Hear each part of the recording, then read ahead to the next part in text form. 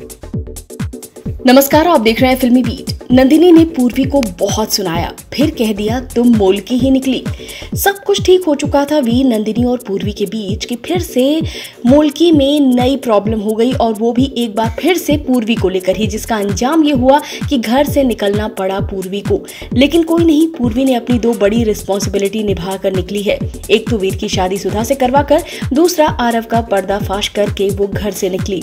इस दौरान प्रकाशी और अंजलि ने पूरी तरीके से गलत फहमियाँ डाल दी हैं नंदिनी के दिमाग में कि पूर्वी ने सौतेला व्यवहार किया है बच्चों के साथ। वीर की शादी धोखे से करवाई और दूसरा कन्यादान किया नंदिनी का।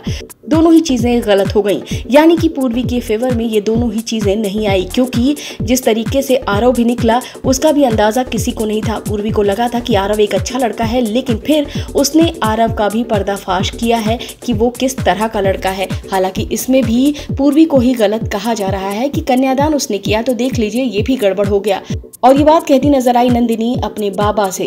इसके बाद नंदिनी जो है वो पूरी तरीके से चिल्लाती नज़र आई पूर्वी पर। उसने कहा, मैंने तुम्हें अपनी माँ माना और तुम सचमुच मोल की निकली। ये सुनकर जैसे प्रकाशी अंजलि के चेहरे पर ठंडक पहुँची हो तो वहीं आरव भी खुश दिख रहा था। लेकिन पूर्वी पूरी तरीके से टूट चुकी थी, उसकी आँखें नम थी, वो रो रही थी, वो अपने आप को प्रूफ नहीं कर पा रही थी। उसे समझ नहीं आ रहा था कि मैंने तो सब कुछ ठीक किया था, ये अचानक से ऐसा कैसे हो गया? वो ये सोचती नज़र आई कि आखिर मेरे साथ ही ऐसा क्यों होता है?